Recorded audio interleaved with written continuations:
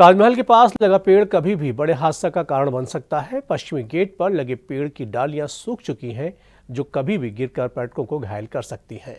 ऐसे में अगर कोई हादसा हो जाता है तो उसके लिए आखिर जिम्मेदार कौन होगा?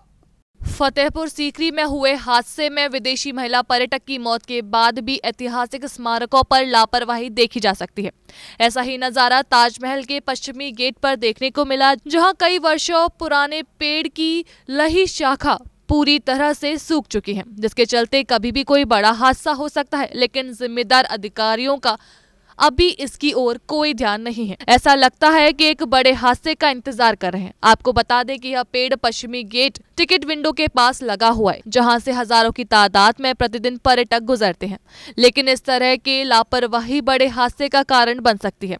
अब देखना होगा कि खबर प्रसारित होने के बाद अधिकारियों की नींद खुलती है या फिर यूँ ही वह कुंभकर्ण की नींद सोते रहेंगे और एक बड़े हादसे का इंतज़ार करते रहेंगे। सी न्यूज़ के लिए गोपाल शर्मा की रिपोर्ट।